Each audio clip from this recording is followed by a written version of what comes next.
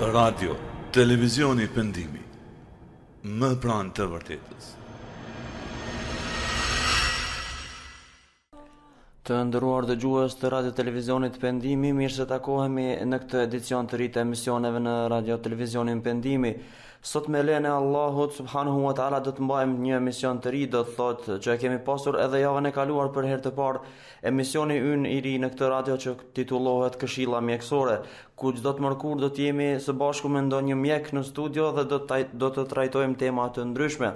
Për sot kemi vendosur të diskutojmë për temën e kancerit të gjirit, se çka është kanceri i gjirit, si shfaqet ai dhe cilat janë mundësitë parandaluese dhe mjekuese të tij, do të na informojë mjeku në studio Doktor Bisedim Karanezi i cili është specializant i kirurgjisë, të cilit i dëshirojmë mirëseardhje në emision. Doctor Bisedim, mirëseardhje në emision. Mirëseardhje.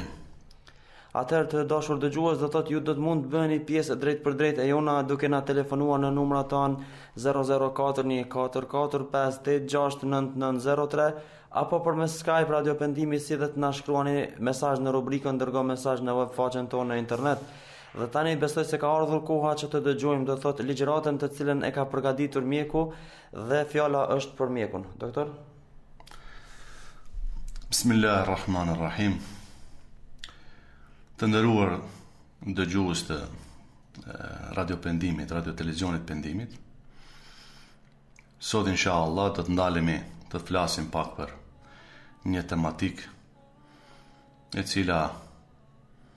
Është themi aktuale tani më në këtë muaj. Jo rastësisht kam përzgjedhur të flas për kancerin e gjirit, meqenëse muaji tetor është muaji i vetëdijesimit ndaj kancerit të gjirit. Për këtë arsye edhe organizata të ndryshme në tërë botën, duke filluar nga ajo që është Organizata Botërore e Shëndetësisë, organizojnë ë themi simpoziume të ndryshme apo konferenca të ndryshme për vetëdijesimin ndaj kancerit të gjirit. Dhe tëra kjo, meqenëse tani më është bërë një problem i madh, themi është një si një lloj epidemie e shekullit kanceri i gjirit, me një përhapje të madhe në kohërat e mëhershme ka qenë sidomos tek gratë mbi moshën 50 vjeçare, kurse tani më kemi edhe në moshat e hershme. Prandaj edhe ne jo rastësisht kemi përzgjedhur të flasim për këtë për këtë temë duke duke qenë se jemi në këtë muaj dhe jemi munduar inshallah në disa pika të caktuara ka shumë për të folur, por ne jemi munduar themi të t'i shtjellojmë pika të shkurtra se çka është kanceri i gjirit, kush e shkakton kancerin e gjirit, cilët janë faktorët që ndikojnë në këtë drejtim.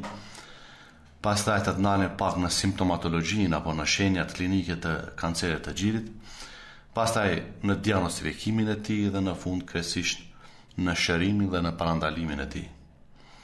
Çka është kanceri i gjirit? Pra është kanceri i cili është më i zakonshëm prej tipeve të kancerit tek tek femrat, me një shtrirje në pjesën e popullatës që është mbi 50 vjeçare, por Për fat të keq, tani kohëve të fundit kemi edhe raste, të cilët po na shfaqen në ndër moshën pesëdhjetë vjeçare, gjegjësisht moshat më të hershme.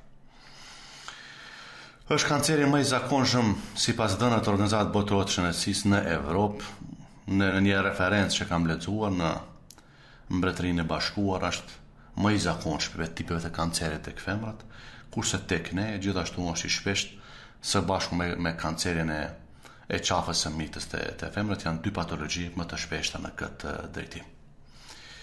Është e rëndësishme të të përmendet që shumica e femrave me këtë tipe të kancerit kryesisht diagnostifikohen siç thamë në moshën mbi 50 vjeçare, Dhe femrat e reja tani më për fat keq kanë filluar të preken edhe ato sikurse ato që janë mbi moshën 50 vjeçare. Në një referencë në një studim që është bërë thuhet që rreth 1 në 8 femra diagnostifikohen gjatë jetës së tyre me kancer gjiri. Pra është një patologji e shpeshtë. Për atë shumë e rëndësishme është zbulimi në fazën e hershme, e cila luan një rol të rëndësishëm në këtë drejtim.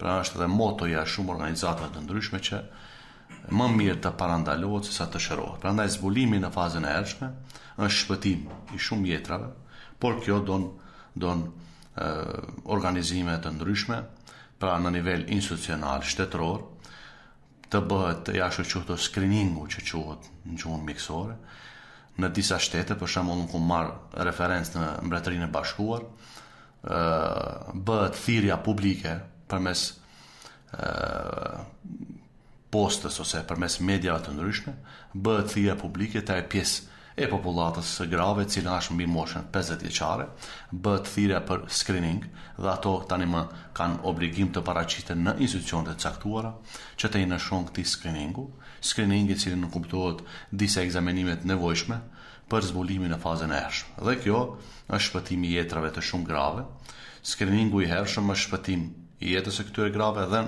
zvogëlimin e mortalitetit dhe morbiditetit te te kjo kategori.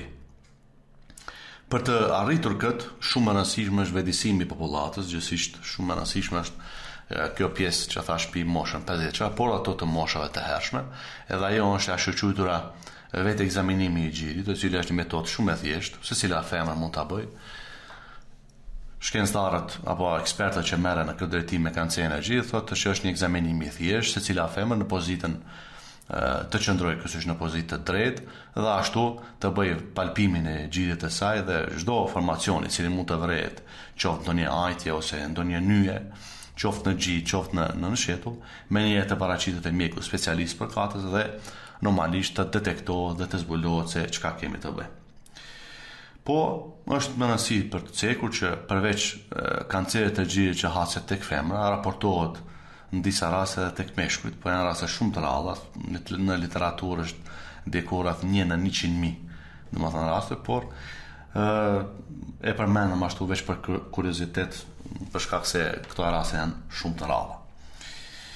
Të ndalemi pak të flasim për Shkaqet e kancerit të gjirit, cilat janë shkaqet, të cilët tanimë një pjesë e tyre janë të njohur ose një pjesë e tyre janë objekt i studimit se kush janë ata faktorët të cilët e shkaktojnë atë.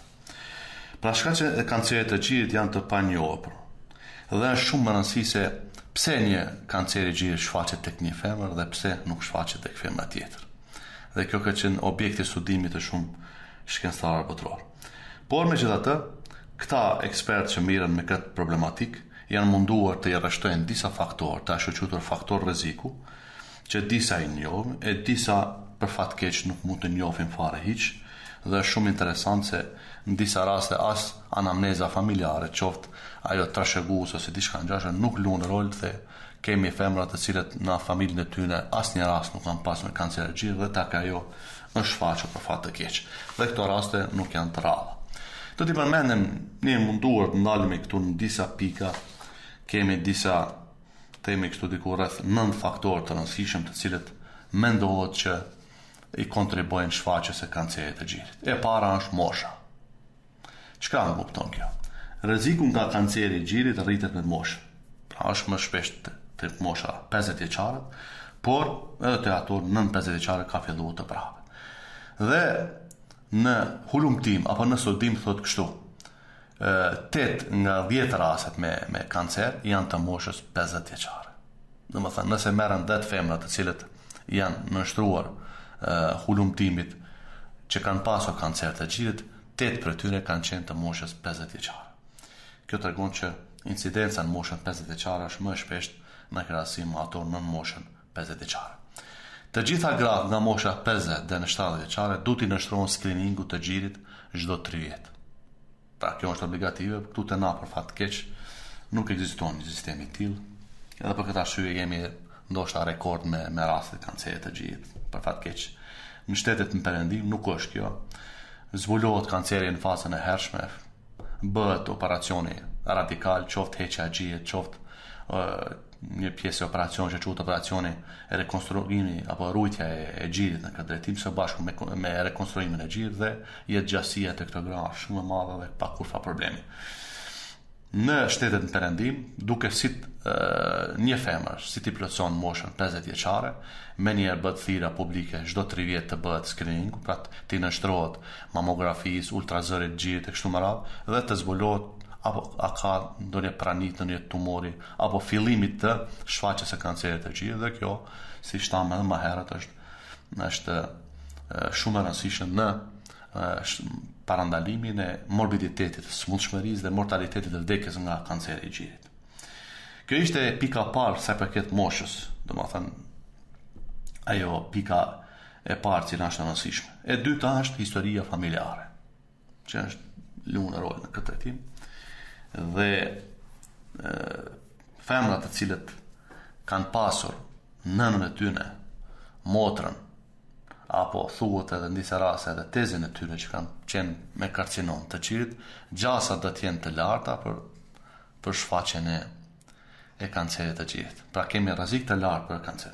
Shumë raste të, me karcinom të gjirit nuk kanë anamnezë familjare, Dhe kjo është, është e rëndësishme siç e cekëm më herët për të cekur që kemi raste që nuk kanë në anamnezë familjare kur të merren të dhënat dhe kur të pyetet pacienti se nëse dikush nga anëtarët e familjes ka pasur kancer të gjirit, thotë jo. Dhe kjo është shumë e rëndësishme, kjo tregon që edhe tek ato mund të shfaqet.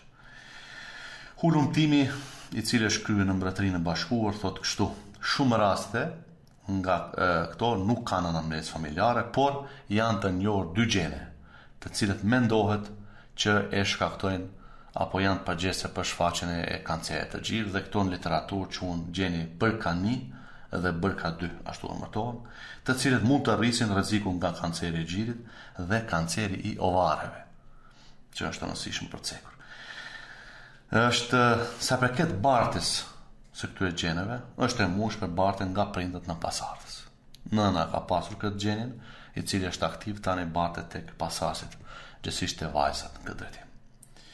Disa gjene kohëve të fundit janë detektuar në këtë hulumtim thuhet që është kryer në Mbretërinë e Bashkuar, përveç këtyre gjeneve që i përmendëm më herët, është një gjen tjetër i cili mendohet që luan rol të rëndësishëm në këtë dhe ky emërtohet si gjeni TP53 dhe dhe çek gjeni quhet ashtu, të cilët janë apo luajnë rol të rëndësishëm dhe janë të asociuar apo ndihmojnë në shfaqjen e kancerit të gjirit. Dhe hulumtimi thotë kështu, po po po po referoj nga nga nga ai hulumtim thot nëse për shembull thot keni dy të afërm me karcinom nga familja juaj nga motra qoftë ajo nëna motra apo vajza ju duhet të jeni thot në mbikëqyrje për kancer dhe t'i nënshtroheni skriningut Këtu te ne, thash, përveç screeningut, te, as që diskutohet për këto gjene, për shkak se këto janë të kushtueshme, në shtetet në perëndim hulumtohen, dhe nëse janë të pranishme ndonjëra nga këto, atëherë merren disa masa që quhen parandaluese.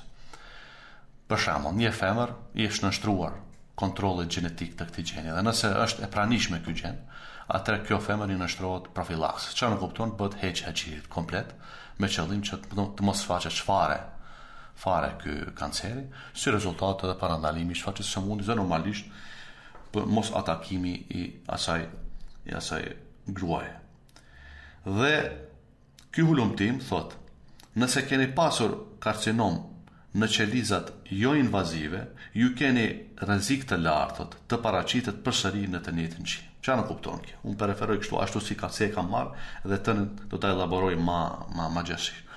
Nëse një grua ka pasur një tumor, i cili ka qenë beninj, siç e quajmë n'gjuhën mjekësore, ose i padëmshëm. Në anën tjetër është rreziku për të shfaqur tani kancerin në vend të atij tumori është me rrezik të lartë. Për këtë arsye shumë e rëndësishme është tek femrat. Nëse para 1, 2, 5 vitesh ka pasur ndonjë tumor i cili ka qenë beninj, duhet të nënshtrohet çdo 3 vjet ekzaminimit, për mos rastësisht tani është shndërruar në formën malinje që e quajmë n'gjuhën mjekësore, Sepse fjala malinj rrjedh nga gjuha latine mal, që domethënë e keqe. Prandaj shumë kjo luan rol të rëndësishëm në këtë drejtim. Si shfaqet kanceri i gjirit, domethënë, në, në qelizet e, e, kancer, e, e gjirit? E dim që gjiri është një strukturë gjëndrore. është i përbërë diku rreth 100 kanale të gjirit. Janë ashtu të quajtura kanale të cilat prodhojnë acinuset e gjirit që quhen. Dhe pjesa tjetër e gjirit është strukturë e cila është përbërë prej indit yndyror. Tek femrat ë të cilat janë nën moshën pesëdhjetë vjeçare. Kjo strukturë e gjirit është në ë shkon në favor të asaj gjendrore dhe më pak të asaj dhjamore. Çfarë nënkupton kjo? Femrat të cilat janë nën moshën 50 vjeçare, më, më kanë më shumë ind gjendror, e që është shumë logjike për shkak se ato janë të përgatitura për të lindur. Ndërkaq te femrat mbi moshën pesëdhjetë vjeçare, me ardhjen e menopauzës, tek ato tani më vjen të themi kështu një atrofi e, e kanaleve të, të, të, të qumshtit, kurse më shumë shkon dhe te rritja e indit dhjamor. Pra te këto më shumë kemi ind dhjamor, kurse më pak gjëndra të gjirit. Dhe ky studim çka thotë? Thotë, qelizat e kancerit të gjirit më së shumti rriten në ato pjesë të gjirit të cilat prodhojnë qumësht. Pra, realisht dhe logjikisht, kjo do të thotë që i prek më së shumti moshat, ndër moshën, do të thotë në ato pjesë të gjirit të cilat prodhojnë prodhojnë qumësht. Kurse më pak në ato të cilat janë të indit dhjamor.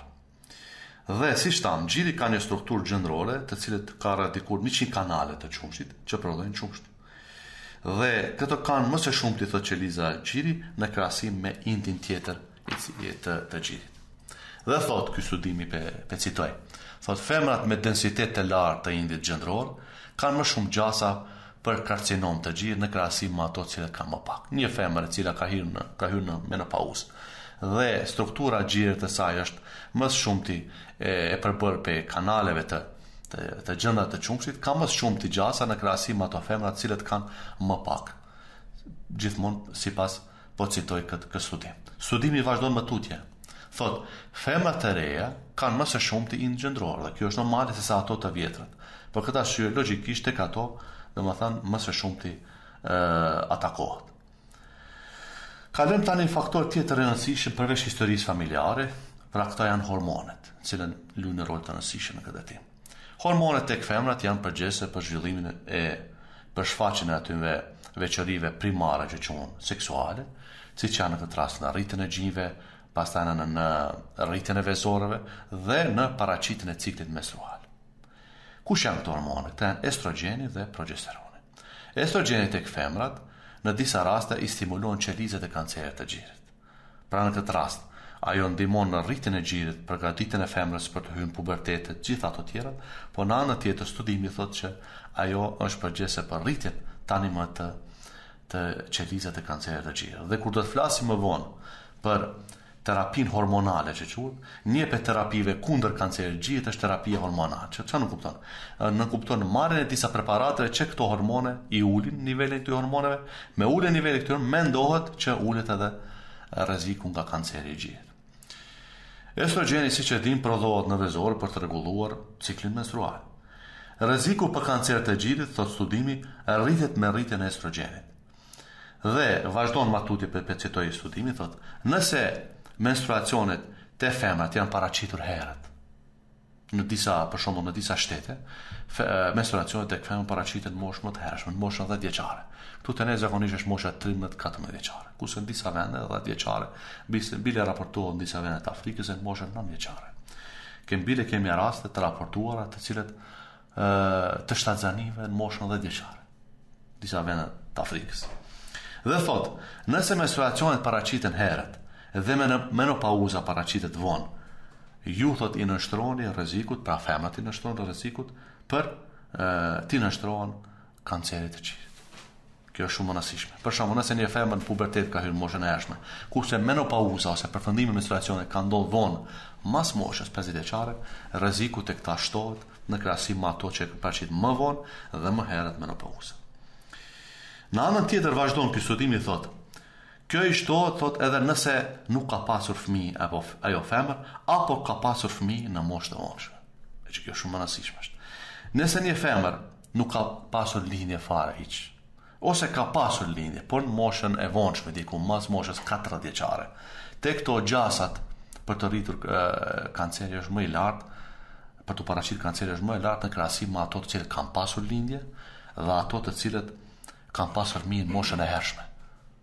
Prandaj na themi gjithmonë që Ë, kjo është një thikë me dy teha lindja në disa raste, për shkak se lindjet e hershme, në moshë të hershme, ndihmojnë në parandalimin e e kancerit të gjirit, po në disa raste te kanceri i vezores tani, të qafës mitrës, mendohet që kanë efekt të kundërt. Është, është, këto studime janë shumë interesante. Faktor tjetër i rëndësishëm që do ta cekim përveç hormoneve janë të ashtuquajturat pilulat kontraceptive. Disa gra, gjithsesi një një çift bashkëshortor, i cili planifikon të organizojë jetën e, e tij bashkëshortore dhe të bëjë planifikim familjar, planifikim familjar bëhet në forma të ndryshme, gjithsesi mbrojtja nga shtatzania. Një prej formave të mbrojtjes shtatzanisë është përdorimi i tabletave kontraceptive, të cilat bëhet nga ana e femrës. Dhe thotë ky studim në vazhdim po citoj. Thotë, ë Femrat të cilat nuk kanë përdorur pilula kontraceptive kanë më pak rrezik për paraqitje të të kancerit të gjirit në krahasim me ato të cilat kanë përdorur.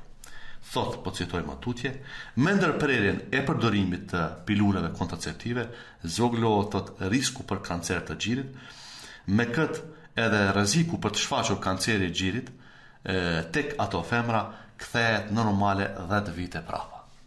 Kjo shumë është edhe interesante. Do thot, nëse një femër deri një kohë ka përdorur kontraceptiv për parandalimin e shtatzanisë, tani më nëse kalon në një metodë tjetër, sepse ajo domosdo të përdorë ndonjë metodë për mbrojtjen nga shtatzanisë. Por tani nëse kalon në metodë tjetër dhe i ndërpret kontraceptivet, do të kthet thot studimi kthehet në normale 10 vite prapa, që është shumë e rëndësishme në këtë drejtim. Faktorë tjetër të rëndësishëm cilat janë, faktori 4 në radhë, është faktorët e stilit të jetës. Dhe kush është këtu? Këtu bën pjesë mbi pesha dhe obeziteti. Që është shumë rëndësishme. Femrat të cilat janë obeze, të trashura, kanë më shumë gjasa për të prekur pe kancerit të gjirit në krahasim me ato të cilat janë të dobta. Tjetër, faktori i rëndësishëm është edhe alkooli. Përdorimi i alkoolit. Çka thotë kërkimi këto studimi? Sipas studimit që u kry në Mbretërinë e Bashkuar, thotë, po citoj, për çdo 200 femra kanë marrë kanë marrë pjesë në studim. Për çdo 200 femra që kanë marrë pjesë në studim. Secila prej tyre për çdo 2 pije alkoolike që ka përdorur në ditë, qoftë 2 gota alkool që ka përdorur në ditë, 3 herë më tepër kanë rrezik për të prekur nga kanceri i gjirit, sepse sa ato të cilat nuk kanë përdorur hiç. Për këtë arsye thot pejgamberi alejhi selam, alkooli thot është nana e këqijave. E në mesin e efekteve të alkoolit është edhe në siç peshë studimi 3 herë gjasat më tepër për të prekur nga kanceri në krahasim me ato që nuk kanë përdorur fare. Faktor tjetër rëndësishëm cili është radiacioni. Çfarë kupton kjo? Femrat të cilat kanë përdorur ndonjë radioterapi, Kan kanë përdor rengen, ka bërë një rengen gjoksit ose ka për, ka pasur ndonjë sëmundje më herët, maligne, diçka të ngjashme dhe ka bërë një rengen. Çka thotë studimi? Thotë, nëse keni pasur radioterapi në regionin e gjirit për ndonjë sëmundje, studimi e ka përmendur për shembull limfoma Hodgkin, është një sëmundje, një një kancer kështu i i gjakut, njëjtë ashtu. Thotë, ju duhet të diskutoni me specialistin për të shqyrtuar riskun apo rrezikun nga kanceri i gjirit. Një radioterapi e zakonshme në moshën e hershme, e kom fjalën për radioterapi që janë përdorur në doza të larta. Për shembull, e ka përmend limfoma Hodgkin, e cila shfaqet tek fëmijët. Dhe në këtë rast në fëmijërinë e hershme Ajo femër ka përdorë shumë rrezatim për parandalimin e kësaj sëmundje. Në këtë rast, në moshën si të hynë në pubertet, duhet të konsultohet me specialistin se çka të bëjmë në këtë drejtim. Unë kam përdorur radioterapi kur kam qenë në moshën e hershme dhe tani cilat janë ato masat që duhet t'i marr në këtë drejtim.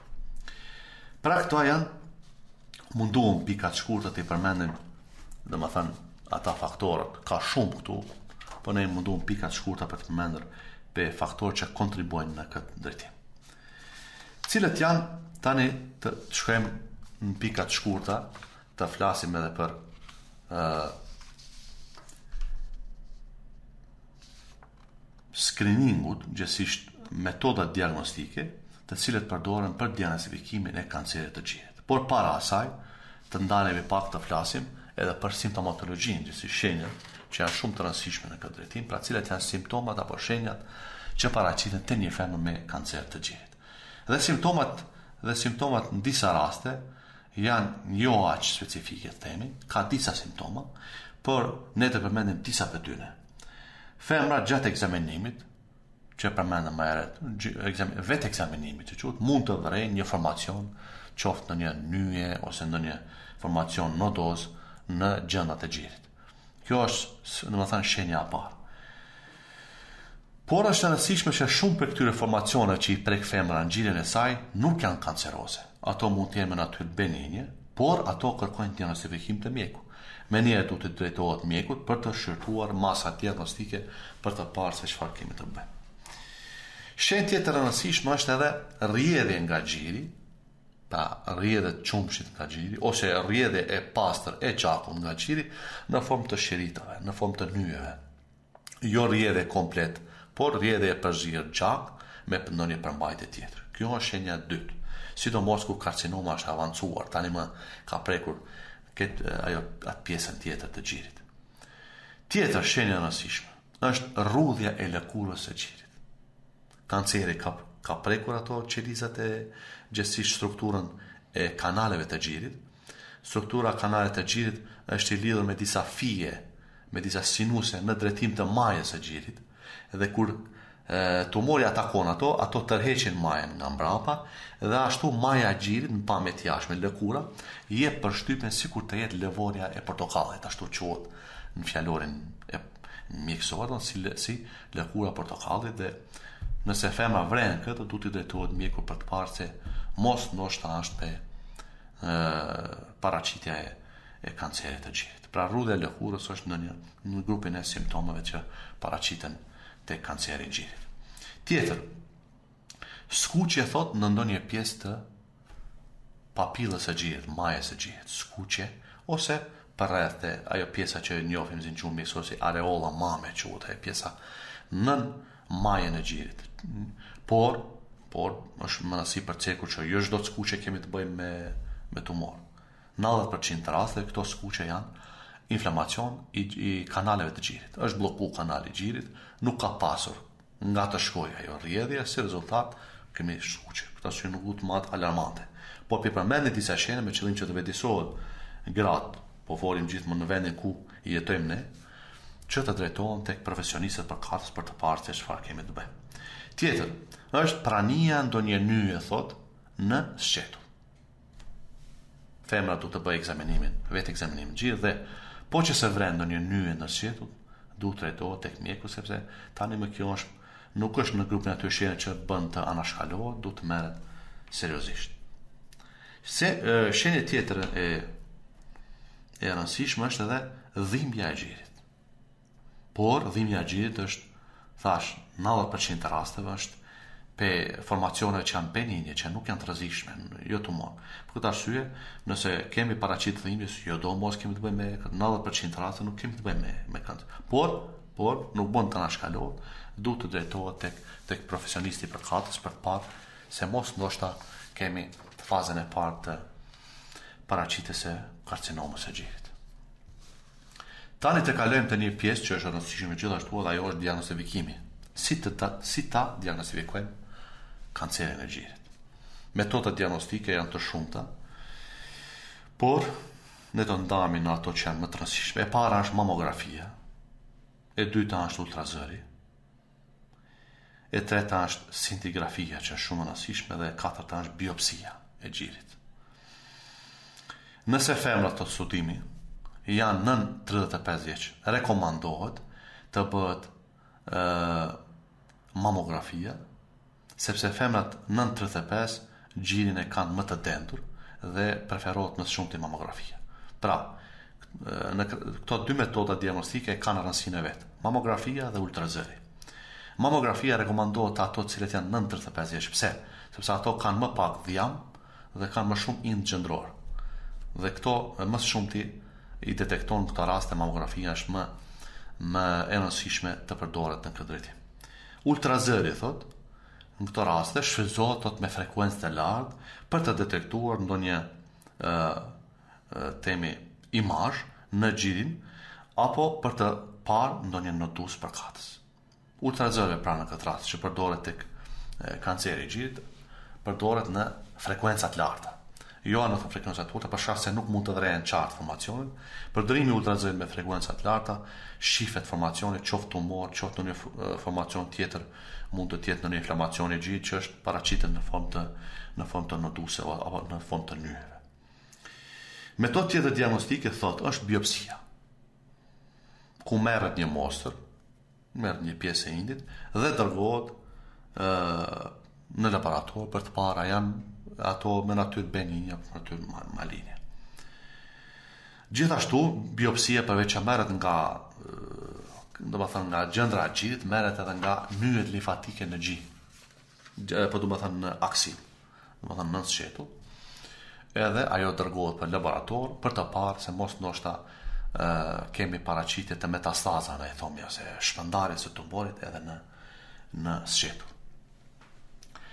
Formë tjetër e rëndësishme e diagnostifikimit thotë është aspirimi me gjilpërë. Dhe kjo nevojitet thotë për të dalluar qelizat kanceroze dhe nga ato të cilët janë cista beninje. Dhe kjo është biopsia më e shpesh që bëhet te këto gra. Do të thotë, një prej formave diagnostike është edhe me gjilpërë futet në atë pjesë të gjirit, merret një lëng, dhe dërgohet në laborator për të parë a kemi të bëjmë me qeliza malinje apo me cista të zakonshme të cilët mund të janë në gji. Pikë tjetër e rëndësishme që duhet të ceket është edhe stagingu dhe gradat e, e, e kancerit të gjirit. Qa nënkupton stagingu? është një term anglez. Nënkupton apo tregon se sa shumë është përhapur kanceri në gjirin përkatës. A është përhapur shumë apo, domethënë, është është në është në shtresën sipërfaqësore apo ka depërtuar në shtresa të thella. Dhe ndahet në disa grada. Grada e parë është e ashtuquajtur in situ. E ka prek shtresën sipërfaqësore, por nuk ka kaluar të ashtuquajtur qelizat bazale, ashtu nuk kanë kaluar në të, kjo është me prognozë shumë të mirë. Këto femra në disa raste nuk i nështrohen fare kirurgjisë, ose nëse bëhet kirurgji, është kirurgjia ashtuquajtur me ruajtje të gjirit. Dhe këto prognozat e këto apo është me të vërtet shumë e mirë. Por kjo arrihet nëse bëhet një koordinim, siç thashë, të institucioneve shtetërore me institucionet përkatëse shëndetësore. Që për fat të keq tek ne nuk janë në nivel si duhet. E dyta është Që, si të ashtuquajtur është sta, stage 1 që quhet, do të të themi kështu, stexhingu një. Çka nënkupton? Përmasat e tumorit, thot, janë më pak se 2 cm, dhe nuk ka nyje limfatike në në sqetull, të detektume. Edhe kjo me për është me prognoz të mirë. Stexhingu 2, tumori është 2 deri në 5 cm, dhe limfonode nuk ka në në sqetull. Stexhingu tre, tumori është dy deri në pesë centimetër dhe ka atakuar edhe struktura tjera të gjirit, për fat keq. Kemi limfonode të detektuara, por nuk është përhapur në trup. Do thotë tumori është 2-5 centimetër, është përhapur edhe në pjesët tjera të gjirit, por nuk është përhapur në pjesët tjera të trupit. Stexhingu 4, që është grada më më, ma e keqja, është përhapur edhe në pjesët tjera të trupit, apo ka dhënë metastaza. Përveç stexhingut kemi edhe gradat e tumorit. Çka nënkupton grada? Tregon përhapjen e qelizave tumorose. Dhe sa janë atipike ato? Çka nënkupton atipike? A përngjajnë me qelizat e gjirit, apo janë që nuk përngjajnë fare me ato? Dhe kemi këtu disa grada. Grada e ulët ose grada një, edhe pse është abnormale, nuk rriten shpejt. Domethënë, nuk kanë rritje të shpejt. Por qelizat janë abnormale, nuk janë qeliza të gjirit.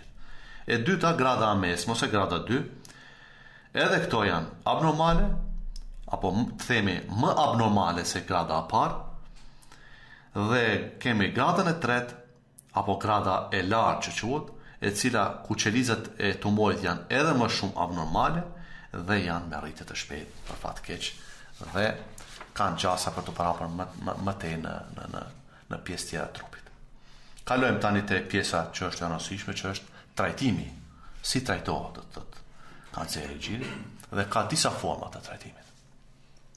E kemi trajtimin kirurgjik, i cili konsiston në heqjen e gjirit, për të cilën do të bëjmë fjalë në pika shkurtra, kemi radioterapinë me rrezatim, kemi kimioterapinë, përdorimin e e citostatikëve ose barna që shkatërrojnë qelizat e tumorit që merret me intravenozë përmes venës. Kemi hormonoterapinë, terapinë hormonale që cekëm më herët. Kemi edhe terapinë ashtuquajtur biologjike ose që quhet në gjuhën angleze target terapia. apo terapia që atakon ato qelizat specifike të tumorit. Sa i përket te llojet e terapisë, mund të përdoret njëra, mund të përdoret tjetra, ose mund të përdoren dy në të njëtën kohë. Dhe kjo varet nga sa qelizat e tumorit janë atipike dhe sa është përhapur tumori në pjesët e caktuar të gjirit. Për të vendosur, thotë, për llojin e terapisë, mjeku duhet të pasë në konsideratë disa gjëra.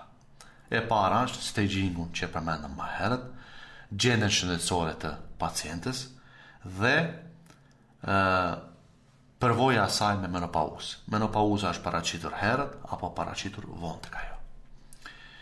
Sa i përket trajtimit të parë, i cili është trajtimi kirurgjik, është numër një, domethënë është terapia numër një që përdoret te te, te kanceri i gjirit, dhe kjo shoqërohet ose me kimioterapi ose me radioterapi. Pra, bëhet heqja e gjirit dhe pastaj përdoret terapia qoftë në formë të kimioterapisë ose radioterapisë. Dhe sa i përket trajtimit kirurgjik, ekzistojnë dy forma të trajtimit kirurgjik. E para thotë është kirurgjia konservuese e gjirit. Çka nënkupton? Heqet uh, indi tumoral i gjirit është hek, por është ruajtur struktura tjetër e gjirit. Domethënë veç indi tumoral, kurse pjesa tjetër është ruajtur. Dhe kjo është me rëndësi shumë për qëllime estetike tek femrat, se femra pas uh, Pas trajtimit nga kanceri i gjirit, kanë edhe ashtu që përveç traumës fizike, kanë edhe traumën psiqike.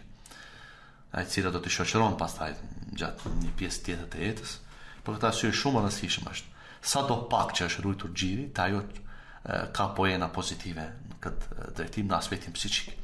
Për shkak se tanimë ajo e din që e ka gjirin dhe nuk do të ketë ndikim psiqik. Dhe studimet flasin që femrat të cilat e kanë të ruajtur gjinë më pak përjetojnë episode të depresionit në krahasim me ato që e kanë tërheq tërë gjirin. Forma e dytë është mastektomia kirurgjike, e cila konsiston në tërheqjen e tërë gjirit. Dhe e fundit është kirurgjia rekonstruktive, ku në këtë rast Në fakt, te kjo pjesë e, e kirurgjisë që quhet kirurgjia konservuese, çfarë nënkupton? Këtu përveç që hiqet një pjesë e indit tumoral, këtu hiqet edhe një pjesë e indit të shëndosh. Pse hiqet një pjesë e indit të shëndosh? Për të parë që në atë indin e shëndosh, a ka filluar të paraqitet tumori apo jo?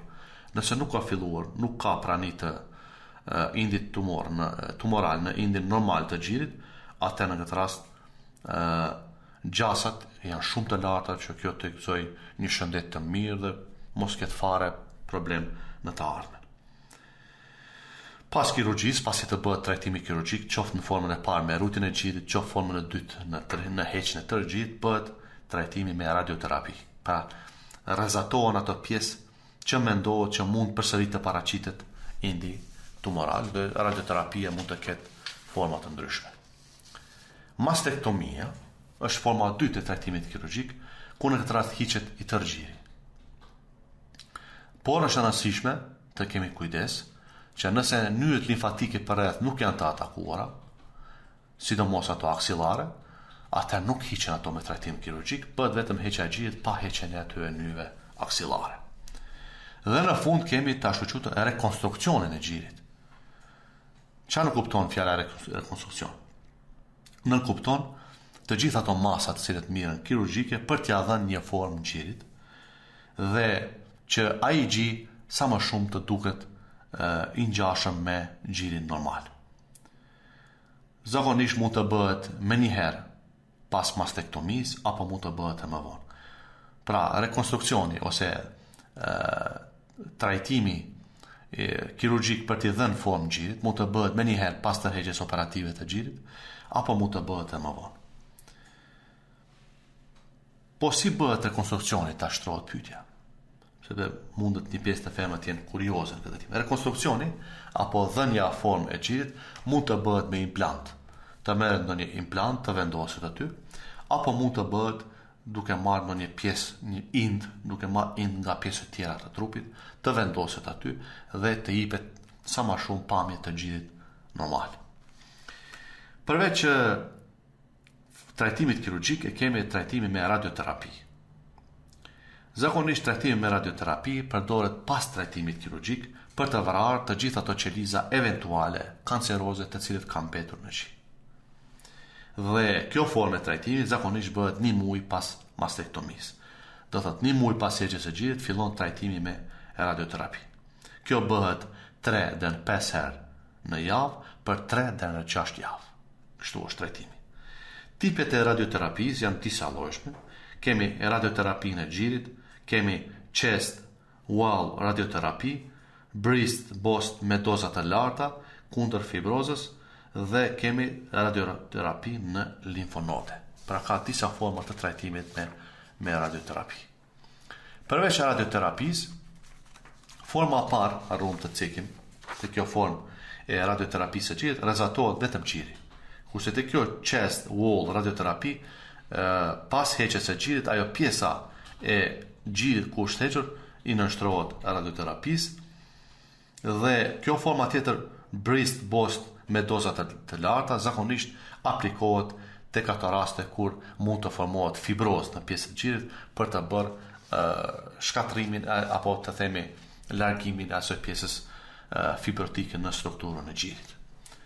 Përveç radioterapisë, siç e përmendëm më herët, një pjesë e trajtimit është edhe me kemoterapi, e cila zakonisht merret me rrugë intravenoze dhe involvon marrjen e citostatikëve apo preparateve të cilët ë ipen me rrugë venoze për të vrarë qelizat tumorale. Zakonisht mund të bëhet menjëherë pas operimit, apo ë mund të bëhet edhe më vonë. Pas operimit nëse mirret zakonisht mirret me qëllim eventual për të vërejtur mos kemi prani të ndonjë qelize që eventualisht ka mbetur në atë pjesë të të gjirit. Mund të bëhet edhe dhe para operimit, pra terapia me kimioterapi është në krahasim me trajtimin me radioterapi, mund të bëhet edhe para operimit dhe ndryshe quhet si terapia neoadjuvante, që nënkupton që ato qelizat sa më kanceroze sa më shumë të shkatërrohen, me qëllim që trajtimi kirurgjik kur të bëhet, të bëhet sa më i suksesshëm. Sa i përket barnave të cilët merren me kimioterapi është shumë e rëndësishme të të, të ceket, thotë merren sipas tipit të kancerit dhe sa është shtrirë kanceri. Pra, sa ma shumë që është shtrirë kanceri dhe sa ma agresiv që është, aq ma shumë, domethënë, mirren barnat sipas llojit të tyre. Pra mirren siç përmendëm me rrugë intravenoze, ndonjëherë mund të mirren në formë të tabletave, po këto janë ë në raste më të pakta në krahasim me këto intravenoze.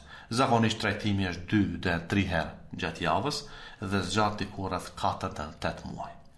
Por trajtimi me kemoterapi ka efekte anësore, cilat janë ato? Janë mungesë të apetitit, pastaj kemi paraqitjen e infeksione të ndryshme, kemi nauze dhe vjellje, pastaj kemi edhe rënje të flokëve, e këto janë disa nga efektet anësore të kemoterapisë. Përveç trajtimit me këto forma që përmendëm kirurgjike, radioterapie, kemoterapi, kemi edhe trajtimin e ashtuquajtur hormonal, dhe siç thamë ma herët, disa tipe të kancerit të gjirit stimulohen prej hormoneve të cilat janë te femra, siç është estrogeni dhe progesteroni. Këto ndryshe quhen si uh, hormon uh, pozitiv receptor kancers, kështu quhen. Kjo terapi ul apo ndërpret efektin e këtyre hormoneve, me uljen e efektit të këtyre hormoneve mendohet që ulet edhe prodhimi apo rritja e e qelizave kanceroze. Merret zakonisht pas operimit apo mund të merret si në këtë rast e vetme, zakonisht merret 5 vite pas operimit, e që është shumë me rëndësishme në këtë në këtë drejtim. Kemi terapinë tjetër përveç terapisë hormonale, kemi e ashtuquajtura terapia biologjike, e cila luan një rol të rëndësishëm në këtë drejtim. Disa tipe të kancerit rriten nga një proteinë e quajtur hormon epidermal growth factor receptor, të quajtur ndryshe si HER2, kështu quhet. dhe gjithmonë po citoj studimin i cili është kryer në këtë drejtim, thotë që disa tipe të kancerit të gjirit rriten nga kjo proteinë, që e përmendëm HER2, që quhet ndryshe, dhe terapia që përdoret në këtë drejtim konsiston në ndërprerjen e prodhimit të kësaj proteine dhe mendohet që me ndërprerjen e prodhimit të kësaj proteine ndërpritet shumimi apo përhapja e kancerit të gjirit. Kjo terapi e bllokon këtë proteinë dhe në grupin e preparateve Ka shumë preparate që përdoren në këtë drejtim, por në mesin e tyre kemi trans i ashtuquajtur trastuzumab, ashtu quhet, më i njoftur i tyre, i cili e ndërpret prodhimin e kësaj dhe mendohet që e zvoglon rrezikun nga paraqitja e e kancerit të gjirit. Dhe në fund krejtësisht është për të cekur është e ashtuquajtur preventiva, e cila luan një rol të rëndësishëm në në këtë drejtim. Preventiva pra konsiston e ashtuquajtura i kom, i, në dy pika të rëndësishme, preventiva në vetekzaminim dhe prevent, preventiva e ashtuquajtur e stilit të jetës, që është shumë e rëndësishme. Në preventiva në vetekzaminim konsiston në një edukim apo mbajtjen e seminareve të ndryshme apo në mbajtjen e ligjëratave të caktuara tek kjo pjesë e popullatës që është më shumë të atakuar për të informuar për rrezikun e kancerit të gjirit, për metodat e vetekzaminimit dhe të skriningut që po na bjen disa herë ta përmendim në këtë drejtim. Kurse metodat të cilat janë që i takojnë të ashtuquajturës lifestyle që quhet apo të uh, stilit të jetës, janë ushtrime të rregullta. Pra, femra ta parandaloj trashësinë, ta parandaloj obezitetin dhe të merret sa më shumë me aktivitete fizike, që është shumë e rëndësishme në këtë drejtim. Për shkak se, siç e përmendëm më herët, një prej faktorëve të rrezikut të kancerit të gjirit është edhe obeziteti apo femrat e trasha, të cilat kanë incidencë më të shumë të për t'u sëmurë në krahasim me ato të cilat janë të dobta. Pra ushtrimet duhet të jenë të rregullta dhe një dietë e shëndetshme dhe e balancuar, e cila luan një rol të rëndësishëm në këtë drejtim. Por studimi e përmend një fakt shumë të rëndësishëm. Thotë femrat që kanë pas ushqyerje në gji, pra kanë pasur fëmijë, më pak gjasat janë për t'u sëmurë nga kanceri i gjirit në krahasim me ato të cilat nuk kanë pasur ushqyerje me gji. Dhe kjo është një faktor apo një e dhënë shumë e rëndësishme, është një stimulim për ato nëna, sidomos në kohën e sotit, të cilat Themi për një apo dy shkaqe të caktuara e largojnë fëmijën nga gjiri, thotë unë nuk kam qumësht kur e dimë në këtë rast që nëntëdhjetë e pesë për qind të femrave kanë qumësht në gjirin e tyre dhe ashtu për për faktor banal e largojnë nga gjiri, në anën tjetër i bëjnë dëm fëmijës të tyre, por në anën tjetër sipas studimeve dhe shëndetit të tyre dhe kjo është një faktor i rëndësishëm për t'u cekur që femrat që kanë pasur gjidhënie, sëmuren më pak në krahasim me ato që nuk kanë pasur. Është për t'u përmendur në këtë rast sa i përket statistikave, nuk po flasim për pjesët tjera, po flasim për në Kosovë, sipas institutit të onkologjisë. Unë kam marrë raportin nga një miku imi, nga një onkolog, thotë në periudhën janar-tetor 2018, kemi 285 raste me kancer të gjirit që është nuk është një shifër e vogël, është një. Por kjo është me tendencë të rritjes për fat të keq. Dhe këto, mm, siç thashë, është multifaktoriale, kanë faktorë të ndryshëm që ndikojnë, por ne u munduam në pika të shkurtra dhe ka shumë për të folur, ka shumë studime. Ë, uh, unë u mundova në pika të shkurtra të flas për këto dhe mbetet ndoshta ndonjë ligjëratë tjetër të flasim apo të shtojmë diçka në këtë drejtim, është temë e gjerë, është një temë mjaft aktuale dhe ne u munduam t'i shtjellojmë ato që ishin më të rëndësishme dhe kjo normalisht është e tëra për ato që, çka patëm për të për të folur. Dhe ajo çka kemi shtjelluar ka qenë me të vërtetë ajo që jemi bazuar në literaturën, gjegjësisht në studime dhe nuk ka qenë në literaturën që e hasim në jetën e përditshme, por kam marrë një studim që është kryer në Mbretërinë e Bashkuar dhe që ka të bëjë me këtë lloj të problematikës pra të kancerit të gjirit. Atëherë doktor, ne ju falënderojmë për ligjëratën. E ndërkaq, dëgjues të dashur, më lejoni që t'ju kërkoj ndjesë për shkak se sot do të thotë e kemi filluar emisionin 30 minuta më herët për shkak të agjendës së ngjeshur të doktorit. Ju kërkojmë ndjesë edhe njëkohësisht ju lajmërojmë se nesër do të keni mundësi të ndiqni reprizën do të thotë të këtij emisioni. E ne do të bëjmë një pauzë të shkurtër për të rikthyer përsëri në pjesën e fundit me pyetjet tuaja ku do t'ju përgjigjet do t'ju përgjigjet doktori i cili është në studio. E ndërkaq ne ju lëmë në shoqëri të ilahive dhe pastaj do të rikthehemi përsëri në studio. Dëgjim të këndshëm. Dhe dëgjues të nderuar të Radio Televizionit Pendimi, u rikthyem kështu pas kësaj pauze të shkurtër. Jemi në studio së bashku me doktor Bisedim Karanezin, i cili është specializant i kirurgjisë dhe në pjesën e parë e patëm ligjëratën rreth kancerit të gjirit e jemi rikthyer në këtë pjesë të dytë për të lexuar pyetjet tuaja në temë dhe ndoshta ka edhe ndonjë pyetje jashtë temës, por hoxha, më falni, doktori do të mundohet që t'i përgjigjet, do thot, pyetjeve tuaja. Ne fillojmë, do thot, lexojmë pyetjen e parë. Një motër nga Shkupi thot, ju përshëndes, jam e sëmur prej nervave, thot, për shembull kam stres, kam dridhje të duarve dhe ndonjëherë edhe të trupit, thot, duart më mpihen edhe i pi do barna, Thot ato janë mirapec, mirapecin 3 mg, thot dhimbja është e njëjtë, desha një sqarim nga mjeku për këtë smundje, thot dhe në kokë kam zbokth dhe kam shumë kruarje. Thot a ka ndonjë ilaç? Faleminderit për mirëkuptim. Si duket të dyja pyetjet janë jashtë temës.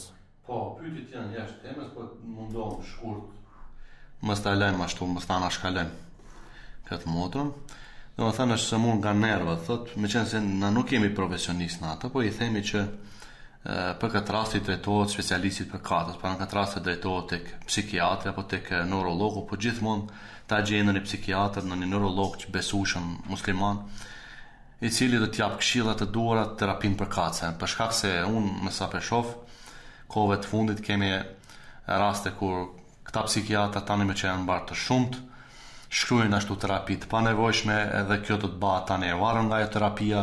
Me ndërprerjen e terapisë do të përjetojë episode të depresionit, kështu që i këshillojmë gjithmonë të drejtohet te një psikiatër apo te një neurolog, i cili është i besueshëm apo musliman, por më së shumti të drejtohet psikiatrit dhe kemi të tillë, në Prishtinë kemi disa Nëse është e interesuar mund t'i japim ashtu privat ndonjë numër të atyre profesionistëve të drejtohet te ata, kurse sa përket pyetjes tjetër thotë kam zbokth aty, kjo të trajtohet te, te dermatologu, të shkojë të merr ndonjë terapi dhe kjo është ajo problemi ma i vogël. Në rregull, faleminderit doktor. Ndërkaq kemi një pyetje tjetër Si duket edhe kjo është jashtë temës, por do të lexojmë për të mos i mbesur borxh dikujt. Thot vajza ime është shumë e dobët dhe thot i pin disa hapa pivski ksaft kfasec thot. Mhm. A e ka thot gjynah se i pin këto barna për me shtu peshën. Dhe tash pyetja e dytë do të thot është në lidhje me temën thot jam nënë e katër fëmijëve, jam 45 vjeçare thot, por ndonjëherë më dhemb gjoksi edhe më rrjedh nëpër gji qumësht. Ju lutem një përgjigje. Selam aleikum. Po, pyetjes së parë, së pari, thotë të është e dobët dhe merr terapi. Çdo terapi që merret për shtimin e apetitit, terapi për shtimin e apetitit nuk ka. Këta duhet me, me ditë. Për shkak se në popull qarkullojnë ashtu informata të gabuara që thotë terapia me vitamina të ndryshme që kanë për qëllim shtimin e apetitit. Jo, ato kryen disa procedura tjera te terapia me vitamina që pastaj në mënyrë indirekte e shton Do thotë apetitin. Çdo lloj bari që përdoret në këtë drejtim është i dobishëm, pse të mos përdoret, por gjithmonë duhet shiquar përmbajtja, çfarë bari është dhe çfarë efekti ka në në organizëm. Kurse sa i përket pyetjes së dytë, që thotë ka rrjedhje nga xhiri, ë jo çdo rrjedhje nga xhiri Nuk kupton paraqitet, të themi kështu, kjo është shumë e rëndësishme në këtë drejtim, ndoshta nuk e specifikova sa duhet, e përmenda, por ndoshta është dashtë më tepër të specifikohet. Çdo rrjedhje nga gjiri nuk do kupton që kemi aty zhvillim të ndonjë formacioni tumoroz ose kancer të gjirit. Disa rrjedhje të gjirit mund të jenë te femrat në fazat e hershme të, të shtatzanisë, apo mund të jenë disa për, në disa në, në literaturë ashtu shkruan, te disa femra në periudhë të caktuar të ciklit menstrual mund të ndodhë të ketë rrjedhje. Po ato nuk nuk është rrjedhje nga gjiri. Është ajo pjesë e seromës që quhet, domethënë një pjesë e lëngut që është që është mbledhur aty në në kanalet e gjirit dhe rrjedh. Pra nuk është rrjedhje qumështi. Këtë duhet të kuptojë. Po edhe të bëhet dallimi midis atyre që e, kanë apo domethënë fëmijë dhe ato që nuk kanë pasur fëmijë, ato të moshave të reja që nuk kanë fëmijë dhe nuk janë të martuara, çdo rrjedhje, ajo është rrjedhje e ndonjë lëngu ashtu nga kanalet e gjirit. Kurse ato të cilat janë në periudhën ë gjegjësisht janë të martuara, mund të ketë fazat e hershme të shtatzanisë ose mund të ketë rrjedhje e cila është normale gjatë periudhës të ciklit menstrual. Pra nuk ka nevojë për shqetësim. Shqetësimi është kur kemi rrjedhje të, të qumështit me gjak. Ajo është e rëndësishme. Në rregull, tani një mesazh tjetër, një motër nga Gjermania thot: "Selam aleikum, ju përshëndes, deshta një pyetje mjekut, nga cilat ushqime thot mund të paraqitet kanceri i gjirit ose nga cilat ushqime mund të largohemi thot, ndoshta keni përmend më herët, po s'e kam dëgjuar krejt ligjëratën. Selam aleikum." Llojet e ushqimeve të cilat interferojnë në paraqitjen e kancerit të gjirit nuk janë me sa kam hasur në literaturë, nuk janë të specifikuar, por ne u munduam më herët kur folëm për parandalimin preventivën, thamë që disa lloje të ushqimeve të cilat ë janë të dëmshme, siç janë ushqimet pasura me me sasi të madhe të yndyrnave, të sheqernave, mendohet që këto favorizojnë paraqitjen e kancerit të gjirit. Pra ushqimi të jetë, siç thashë, i bollshëm dhe normalisht i balancuar, i pasur me të gjithë përbërësit, nga lipidet, pra të ketë të gjithë përbërësit në një vend, të ketë proteina, yndyrna, sheqerna, dhe vitamina. Nëse një ushqim i posedon të gjitha këto, është ushqim i shëndetshëm.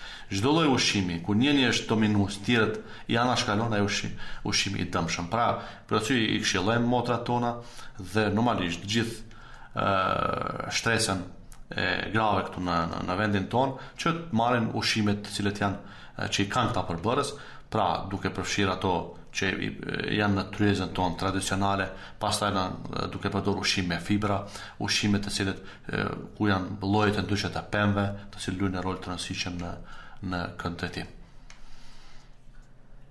Një pyetje tjetër thotë, selam alejkum, a mund të përhapet kanceri i gjirit edhe në organe të tjera, edhe pse këtë e keni përmendur gjatë ligjëratës, por nëse mundeni një sqarim. Po, ka, domethënë kanceri i gjirit përhapet, sidomos atë stejxhingun që e përmendëm më herët, do të thotë faza katërt është përhapje në organe të tjera, domethënë tani ka, ka filluar të atakojë, më mund të përhapet në eshtra, mund të përhapet në mushkëri dhe mund të përhapet edhe ndonjë në organe të tjera. Po, domethënë po është në fazat e në fazat e vonshme, që e lusim Zotin që asnjëra nga këto gra të mos të mos përjetojë në këtë fazë dhe aplikimi të gjitha ato procedurat që i përmendëm më herët, vetëkontrollimi i gjirit dhe gjitha ato metoda tjera të screeningut, e bëjnë parandalimin e kësaj faze 4, e cila nënkupton përhapjen e tumorit në pjesë tjera të trupit.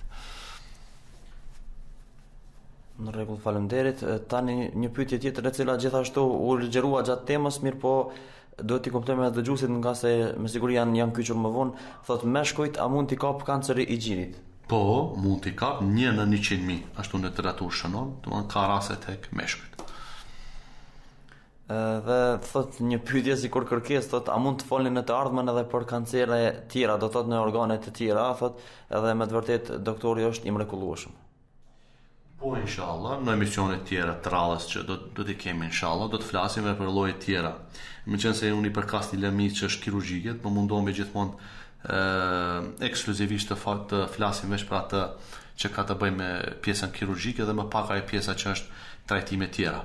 Dhe inshallah do të flasim se jo për kancerin për shembull të qafës së mitrës, pastaj të flasim për kanceret e vezorëve të të cilët e atakojnë këtë pjesë të të gjinisë femërore, por normalisht edhe të kanceret lloje tjera të zorrëve të lukthit të që i atakojnë të dyja gjinit. Faleminderit, doktor thotë a mund të na shpjegoni se çka do me thënë faza 0 e kancerit të gjirit? Si shpjegohet? O, faza 0 kancerit të gjirit apo in situ që përmendëm, pra është tumori në shtresën epiteliale, nuk ka kaluar në shtresën, domethënë në në shtresat tjera të të në këtë rast të gjirit, pra e, e ka përfshirë veç atë laminën bazale që quhet ndryshe, domethënë është në këtë pjesë nuk ka ka kaluar në shtresën epiteliale dhe kjo është një e dhënë e rëndësishme në këtë drejtim dhe shenjë prognostike e mirë që nënkupton që këto femra inshallah do të ketë një prognozë shumë të mirë dhe normalisht një mbijetesë shumë e madhe në këtë drejtim. Një pyetje tjetër thotë, a paraqet deodoranti rrezik serioz për kancerin e gjirit? Me thënë të drejtën, me sa pashë në disa hulumtime që që që, që i shqyrtova, nuk ka pas ndonjë lidhje apo ndonjë korrelacion mes deodorantit dhe kancerit të gjirit. Pyetja tjetër thotë, sa shqetësuese mund të jenë gungat në gjinjtë tanë? Çdo paraqitje e çdo nyjeje në gji është të themi kështu një indikacion i cili duhet të të jetë për një femër një shqetësim që të drejtohet tek profesionisti përkatës. Por jo, siç thashë më herët, jo çdo nyje është tumor, por jo edhe çdo nyje duhet anashkaluar. Kjo është shumë e rëndësishme. Kjo do të thotë që nëse kemi ndonjë gungë, siç e përmendi dëgjuesja apo ndonjë formacion nodoz në gji, menjëherë të drejtohet tek profesionisti për të parë, sepse siç thashë më më herët, shumë raste kemi që janë me natyrë beninje dhe nuk kanë nevojë për shqetësim. Dhe kjo luan një rol të rëndësishëm në këtë drejtim në parandalimin e paraqitjes së kancerit të, të gjirit. Faleminderit, thotë, sa shpesh duhet të bëjmë vetekzaminime në gjinj? Preferohet në literaturë shkruan, ashtu një herë në javë të bëhet vetëkontrolli i gjirit, kurse procedurat tjera siç është ultrazëri, mamografia, këto i përmendëm në literaturë, pra të bëhet një herë në tridhjetë mbi pesëdhjetë vjeç, kurse këto që janë nën tridhjetë e pesë vjeç një herë në pesë vjet, ashtu është në literaturë. Por me rritjen e moshës pastaj, sidomos nëse femrat kanë anamnezë familjare, ka dikush familje, preferohet ndër tridhjetë të bëhet ekzaminimi për të parë mos kemi rënë. Kurse sa përket vetekzaminimit, preferohet një herë në javë të bëhet kontrollimi që sidomos përmendet në literaturë gjatë kohës së ciklit menstrual. Kur është femra në ciklin menstrual, atëherë të bëhet kontrolli i gjirit. Një pyetje tjetër thotë, cila është mosha ideale apo mosha obligative që duhet ta bëjmë mamogramin e parë? Mamogramin e parë të bëhet moshën mbi 35 vjeçare. Ashtu preferohet, domethënë tek femrat duke filluar nga mosha 35 vjeçare të bëhet mamogrami. Kurse ndër 35 vjeçar nuk rekomandohet. Jo, mund të bëhet, por Në literaturë nuk përshkruhet që të të bëhet te këto femra, por ato që kanë anamnezë pozitiv familjare, mirë është që në moshën 35 vjeçare të bëhet një mamografi. Faleminderit. Një pyetje tjetër thot, jam kyçur me vonesë, ë ndoshta keni përmendur, por e, dua ta di çfarë gjëra pengojnë shëndetin e gjinjve tanë. Sa përket shëndetit të gjinjve, ë mendohet që ndikojnë shumë faktorë. Ë, numër 1 për shembull është ë mbajtja apo mirëmbajtja e tyre, që nënkupton ë të gjitha ato ë veshjet e brendshme që përdoren tek tek femrat në këtë rast, të cilët në literaturë aq sa sa hasa mbrëm gjatë shqyrtimit dhe e vërejta që jelekët që përdoren tek femrat të cilët janë me bazë të fortë dhe kanë prani të metalit përreth, në disa raste shtypin në atë pjesë të gjirit, dhe në këtë rast mendohet që ajo e, e bllokon atë pjesë të kanalit të qumshit i cili zhvillon infeksion. Me zhvillimin e infeksionit mendohet që formohet pastaj cista dhe në disa raste thuhet, siç përshkruhet në literaturë, mendohet që është e favorizon pastaj paraqitjen e, e tumorëve, gjegjësisht të kancerit të gjirit. Pastaj kanë janë edhe trauma të ndryshme. Qoftë një lëndim i vogël sado pak, duhet të kemi kujdes se si po zhvillohet, çfarë kahje po merr. Për shembull, mund të ndodhë që femra të rrëzohet diku dhe pastaj të bëhet të bëjë lëndimin e gjirit dhe nuk duhet ta anashkalojë ashtu. Për shembull, nëse vren që ka ndonjë formacion në gji pas lëndimit, të bëhet ë punktura, të nxjerret ajo pjesë e gjakut ose e lëngut, për shkak se mendohet që favorizon atë. Çfarëdo lloj lëndimi qoftë, çfarëdo natyre qoftë. Pastaj gjithashtu është e rëndësishme gjatë kohës së shtatzanisë, sidomos gjatë periudhës pas lindjes, sepse aty kemi rritje të madhe, tajim të madh të, të qumshit, të bëhet eliminimi me rregull i qumshit, të bëhet e, drenazh apo rrjedhja si duhet, për shkak se mosrrjedhja e favorizon pastaj infeksionin, ajtjen e gjinjve dhe mendohet që pas një kohe të caktuar e favorizon me sa pash në literaturë paraqitjen e këtyre tumorëve të gjirit. Një pyetje tjetër thot, ndonjëherë thot më paraqitet kruarje rreth majës së gjirit, thot, a ka diçka të bëjë kjo me kancerin apo jo? Jo, jo kruarja, paraqitja e kruarjes nuk është ndonjë shenjë që themi është paralajmëruese për kancer të gjirit. Pyetja tjetër thot, doktor jeni shumë i mirë, thot, a mund të na shpjegoni pse thot para ciklit menstrual thot gjinjtë na ndërrojnë, do thot nga gjendja normale gjatë muajit, a ka diçka të bëjë me kancer? Jo, jo, jo, absolutisht. Ajo është përgatitje për për shkak se gjatë kohës së ciklit menstrual vjen edhe rritja e këtyre hormoneve, estrogjenit dhe progesteronit, të cilët njëri vepron në fazën aktive, tjetri pastaj në fazën tjetër pasive. Në fazën aktive, në këtë rast ajo konsiston në proliferimin e e gjëndrave të të qumështit dhe në këtë rast në rritjen e gjinjve, rritjen e temperaturës në gjinj dhe normalisht rritje të përmasave të gjinjve. Çdo femër gjatë kohës ciklit menstrual përjeton rritje të të gjinjve dhe kjo është nuk është shqetësim për shkak se kjo ndodh dhe është një dukuri fiziologjike te të gjithë femrat gjatë kohës së ciklit menstrual. Një pyetje tjetër thot, një motër nga Gjermania thot selam aleikum, Kam një pyetje për kancerin, thot, a ka ndonjë ilaç pa terapia, po thot me gjëra natyrale në Islam për me shëru këtë sëmundje? Nuk kam hasur në, në literaturë, nuk kam jam munduar të gjej diçka që është e përshtatshme në këtë drejtim, por nuk kam parë ndonjë kurë e ashtuquajtur natyrale, të themi. Por pse jo Si siç thotë populli, kur njeriu është në në hall, mund të përdorë edhe gjëra të ndryshme. Nuk i dihet, ndoshta ë shërimi vjen nga ajo nga nga s'e mendojmë. Le të përdoret pse jo. Por ndonjë diçka të veçantë të përmend këtu me emër, nuk kam hasur, për këtë arsye mundova edhe të bëj trajtimi vetëm ato që kam hasur në literaturë. Në rregull, Adnan Smajli shkruan selam alejkum, Allahu ju shpërbleftë për përgjigje thot nuk pata mundësi me e dëgju ligjëratën por deshta me përshëndet shumë doktorin nga Amerika ndërsa pyetje nuk kisha. Si jemi? Adnan Smajli. E njof e kam e kam një goxha një mik një mik të mirë e përshëndes edhe unë zoti e rujt. Allahumma amin. Ndërkaq Bekimi nga Gjermania thotë selam alejkum e kam një pyetje. Thotë nëna ime është bërë operacion prej kancerit dhe iu ka hup apetiti i bukës. Çfarë mundet të bëjë që t'i vijë apetiti? Ë tani më dëgjuesi në fjalë nuk e ka përmendur për cilin lloj të kancerit. Sepse nëse është bërë për shembull Operacion nga kanceri i gjirit, ne siç e cekëm edhe më herët, pas operacionit, gjithsesi pas heqjes së gjirit apo të heqjes së vetëm të indit tumoral, bëhet edhe rrezatimi me rreze apo kimioterapi. Dhe të gjitha, të dyja nga këto, qoftë rrezatimi, qoftë kimioterapia, në grupin e efekteve anësore është në zvogëlimin e apetitit. Dhe kjo është shumë normale. Kurse nëse ka pasur ndonjë karcinom diku në zorrë apo në pjesë të tjera të segmentit të traktit digjestiv, në këtë rast është shumë normale të paraqitet anoreksia apo mungesa e apetitit, dhe mungesa e apetitit mund të gjithsesi rikthimi e apetitit, nëse mund të të të, ta quajmë ashtu, mund të bëhet me aplikimin e, e terapisë në formë të tretë infuzive, në formë të infuzionit apo në formë të tabletave të ndryshme. Thot ne dim thot që Zoti e ka në dorë, por thot mirë po Cila është faza e fundit shkencëtarisht kur mund të parandalohet, do thotë vdekja nga kanceri i gjirit, apo kur është faza që më nuk ka mjekim? Faza e fundit te cila te kanceri i gjirit nuk mund të quajmë. Është interesant, është në grupin e kancereve që janë nuk mund të themi ashtu siç thotë populli të dorëzohemi para para kësaj sfide dhe ne asesi nuk guxohemi të para para çdo lloj sfide nuk guxojmë të dorëzohemi. Duhet të luftojmë me, me atë çka sa kemi mundësi dhe atë sa ka caktuar Zoti gjithëmëshirshëm, por e jona është të mundomi dhe të të, të gjejmë kurën për përkatëse. Kurse sa i përket te kanceri i gjirit, pra mund nuk mund të themi është kjo është faza terminale dhe mos tentojmë asesi.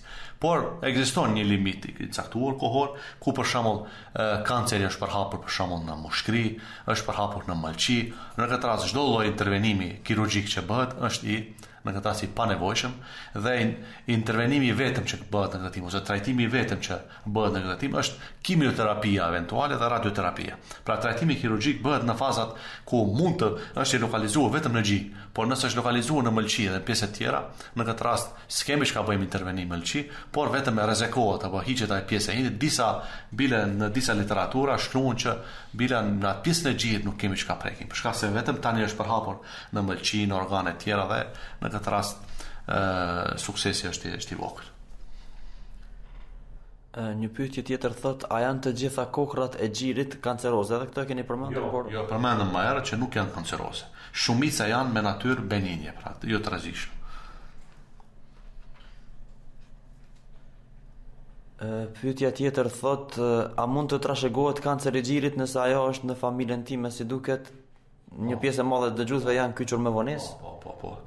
Ëh, e përmendëm më herët që mund të, nëse nëna ka pasur, gjasat janë të paraqitet përmes atyre gjeneve që përmendëm BRCA1 dhe BRCA2 dhe mendohet që përmes tyre përcjellet në në pasardhës. Mirë, po nëse te femra literaturë shkruan ka qenë produktive, domethënë ka lindur para moshës 30 vjeçare dhe menstruacionet kanë ardhur në po, në moshën më të vonshme, 12-13 vjeçare, 14 vjeçare, edhe në këtë rast edhe pse ka anamnezë pozitive familjare, ka më pak gjasa të preket nga kanceri i gjirit.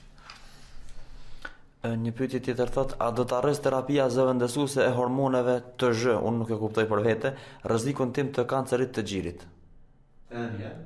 A do të rrisë terapia zëvendësuese e hormoneve? Hormonale, po. Thotë rrezikun tim për kancer të gjirit. Ë, nëse përdoren, nëse përdoren, siç e përmendëm më herët kontraceptivët oral në këtë rast, ë e përmendëm në literaturë shkruan që gjasat për t'u prekur kanceri janë të janë në këtë rast të të më të rritura në krahasim me ato femra që dhe e përmendëm më herët një një dhënë shumë e rastishme, femra që kanë ndërprerë përdorimin e kontraceptivëve 10 vite kthehen në normale në krahasim me ato të cilët vazhdojnë të përdorin kontraceptiv. Dhe terapia hormonale përmendëm ato preparatet për kace të cilët ulin nivelin e estrogenit dhe progesteronit dhe me përdorimin e kësaj mendohet që zvogëlohet risku për për kancer të gjirit. Ë kemi një pyetje thotë sa shanse ka që të rikthehet kanceri i gjirit nëse mjekohet një herë.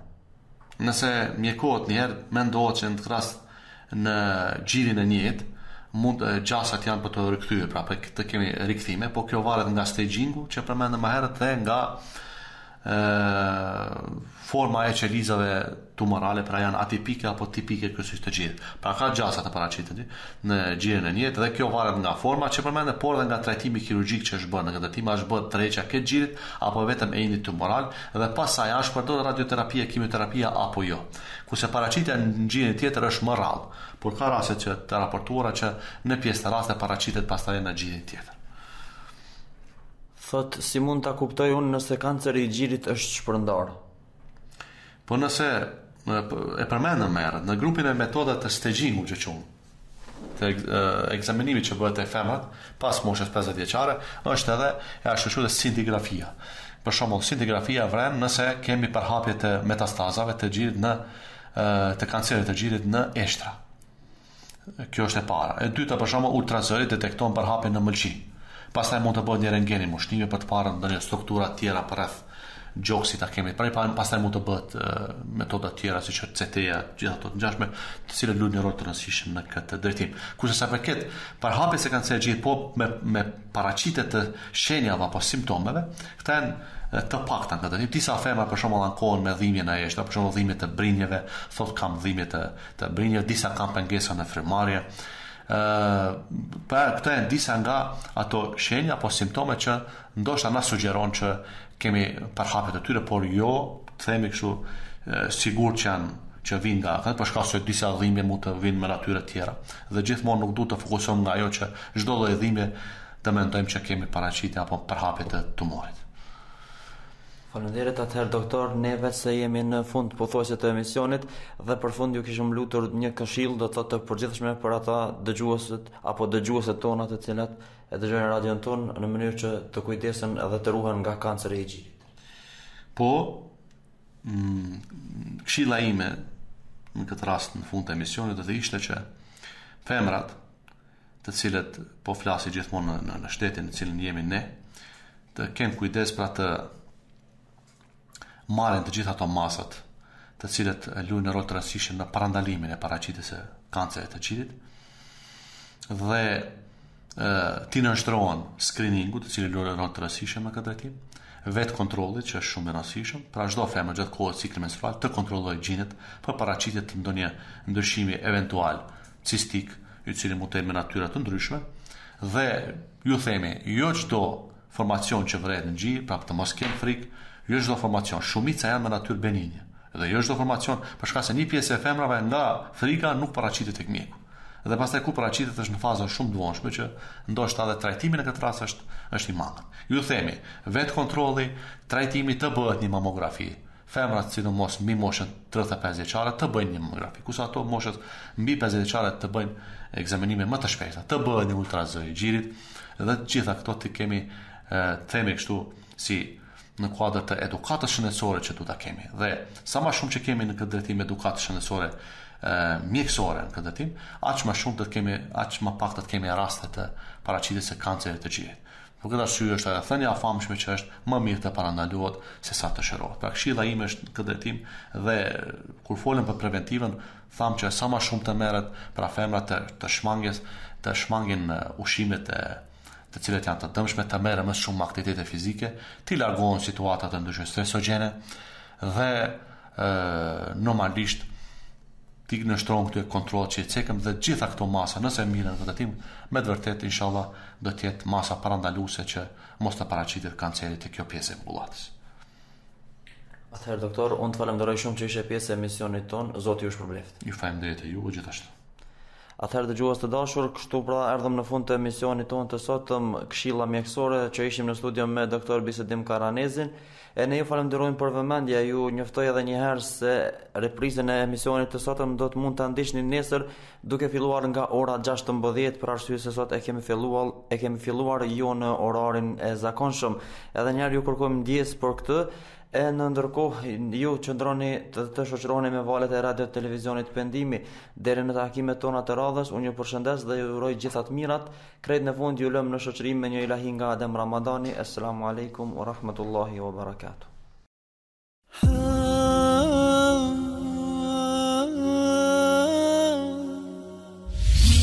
Radio Televizioni Pendimi Më pranë së vërtetës